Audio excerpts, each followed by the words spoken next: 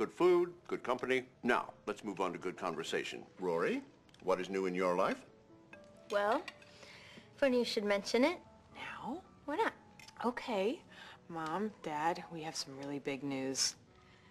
I got my college acceptance letters back. Harvard, Princeton, and Yale. And after giving it a lot of thought, I have decided. I'm going to Yale. Did you hear that? Yale.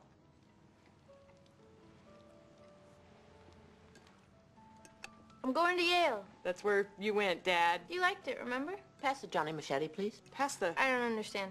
I thought you wanted me to go to Yale. No, we didn't. Absolutely not. What gave you that idea? Mom, Dad, look, I know we've had our differences over where Rory should go to school, but that's behind us now. She's going to Yale, and that's good. Really good. Nothing but smiles. We're, we're both very happy about it. Both. Her and me. She and I.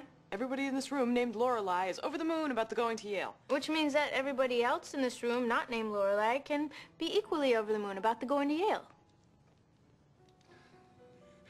I'm getting the champagne. I'm calling it Talbot. Oh, make sure and gloat over that dim-witted son of theirs who couldn't even get into Brown. She's going to Yale. She's going to Yale. Oh. when I get back, I'll teach you the fight song.